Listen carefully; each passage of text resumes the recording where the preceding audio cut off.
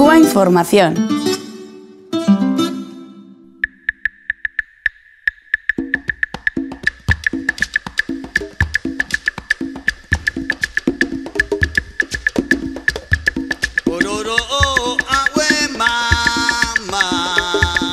Eh, tratándose de los medios de comunicación, todos sabemos que eh, las noticias de Cuba eh, y ahora de Venezuela son siempre la parte negativa. Los caballos de batalla de los grandes medios de comunicación, los clichés, a lo largo de todos estos años han sido, hoy además se ha hablado sobre eso aquí, el inmovilismo de Cuba cuando todos los que eh, conocemos Cuba sabemos eh, cómo ha cambiado. Yo llevo yendo a Cuba desde el año 1991. No he dejado de ir prácticamente ningún año. Y a fecha del 2016 todos sabemos cómo ha ido cambiando Cuba, precisamente en la dirección de eh, mejorar la calidad de vida de los ciudadanos, profundizar en el socialismo. Pero claro, esas cosas no interesa decirlas, porque todo lo que no sea avanzar en contra del sistema eh, socialista no son cambios para los grandes medios de comunicación. Otro de los clichés es la libertad de expresión. Cuba no tiene libertad de expresión. Como si nosotros pudiéramos dar lesiones de libertad de expresión, cuando todos sabemos que los grandes medios de comunicación tienen amo, están en poder de o bien el capital y por lo tanto sirven a intereses económicos o bien están en si son públicas, están en manos del partido eh, que gobierne eh, en España, o en el Estado español o en cada comunidad autónoma. Eh, yo he estado trabajando en Canal Sur, lo mismo que ahora que, que, Miguel Ángel desde hace muchísimos años, aunque yo ya lo dejé, él sigue ahí, en la radio y sé lo que estoy diciendo. Sé de qué manera todo lo que salga del tiesto de lo que está establecido y de dónde, eh, del, pensamiento único al que debe de ir dirigida la información, no cabe. Y por tanto, los periodistas con conciencia de clase, los periodistas que tienen una visión crítica, que es lo que debe ser un periodista, un periodista debe cuestionarse todo. Un periodista no debe estar eh, como portavoz, como altavoz de, ni del poder ni del capital debe de cuestionar por principio absolutamente todo. Eso los periodistas que lo hacen, pues son ninguneados, por supuesto. Los derechos humanos, otro gran cliché y otro gran eh, caballo de batalla. Hemos hablado hoy aquí también de eso.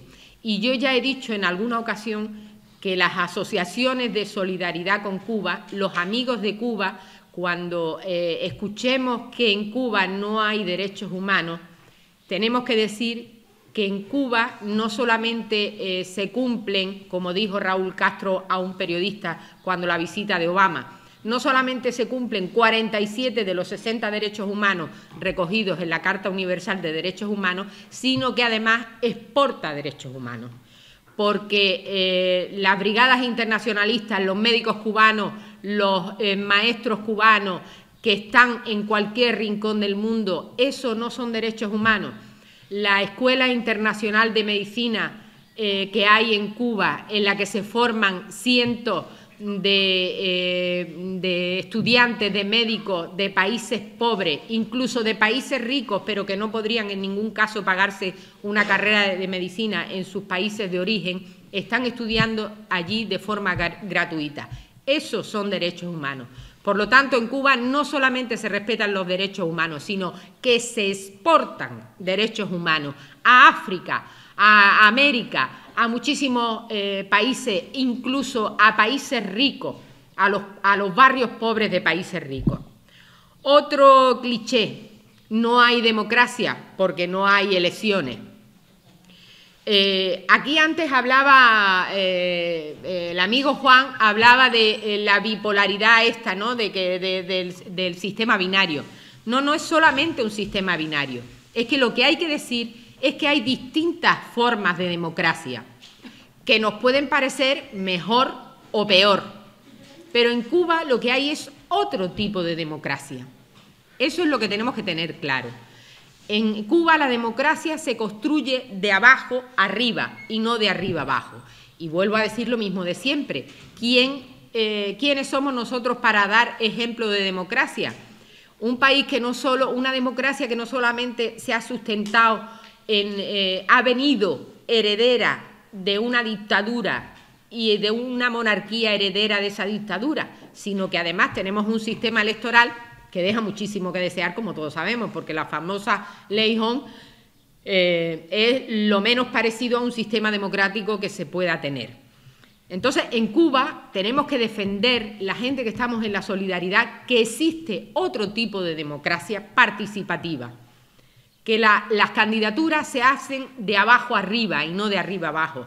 Es verdad que se somete a la Asamblea Nacional del Poder Popular una única candidatura, pero esa única candidatura es el resultado de muchas candidaturas que, se van, eh, que van saliendo de las asambleas de vecinos, de las asambleas de estudiantes, de los centros de trabajo, las asambleas de mujeres, etcétera, etcétera. Todos estos clichés que, se nos han, estado, que, han estado martilleando los medios de comunicación han dado eh, prácticamente, han quedado ahora como eh, en stand-by, ¿no?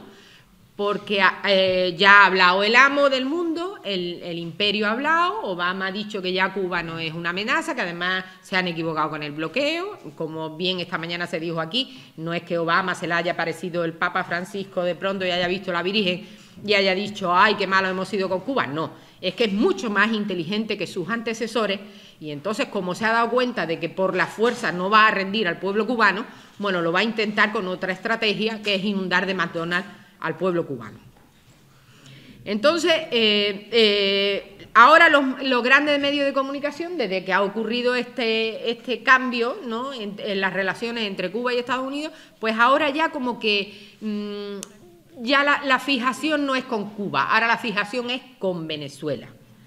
A Venezuela hay que derrocarla como sea y hay que eh, dar la imagen constante de que Venezuela es un polvorín, de que en Venezuela no hay democracia, de que en Venezuela la gente está pasando hambre, de que hay desabastecimiento, de que mm, eh, aquello es una dictadura, de que no hay libertad, de que se manipula a los medios de información, se reprime a los medios de información, etcétera, etcétera.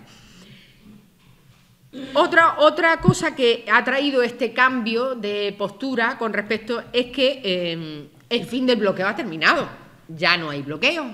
Y no hay bloqueo porque se deja ver eh, subliminalmente como eh, si Cuba se hubiera bajado los pantalones.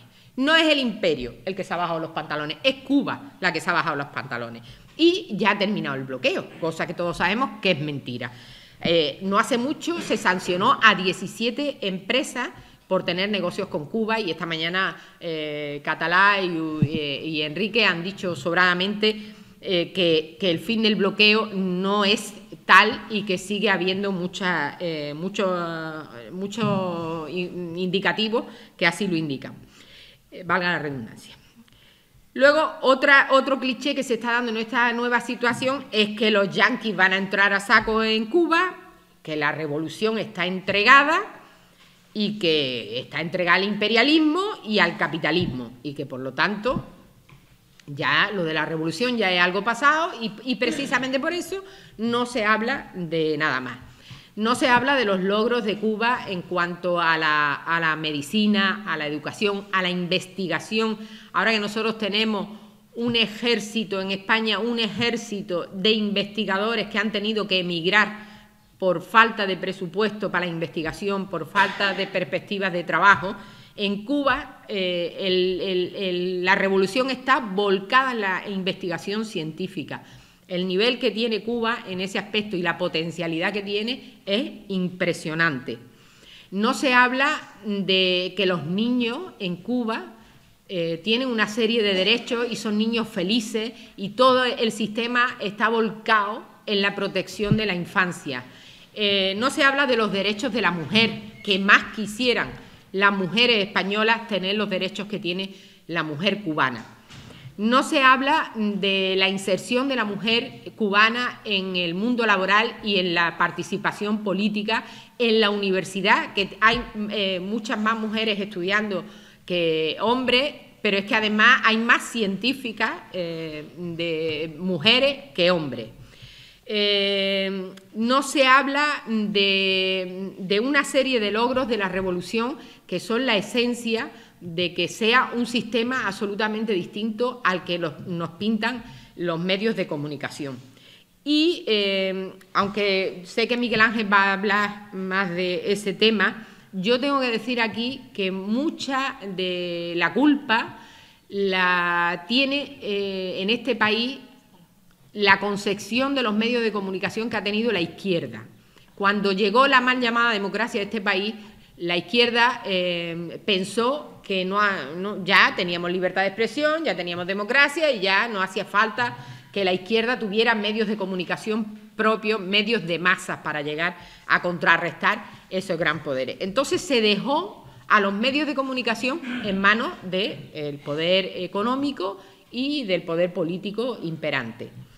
Eh, yo pienso que más que criticar eh, lo, que, lo que hacen los medios de comunicación, deberíamos de hablar de qué es lo que podemos hacer. Sé que también José Manzaneda eh, va a hablar de eso.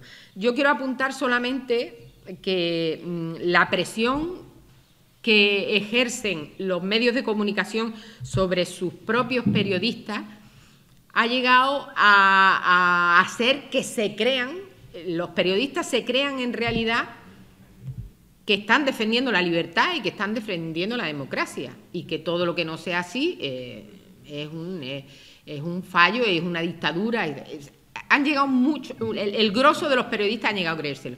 Por ejemplo, eh, nadie se levantó cuando, esto no tiene nada que ver con Cuba, pero bueno, tiene que ver con este país y con la calidad de los periodistas de los medios de comunicación. Nadie se levantó cuando Rajoy eh, plantó un plasma en una rueda de prensa con la situación que había aquí. No hubo ni un solo periodista que se levantara.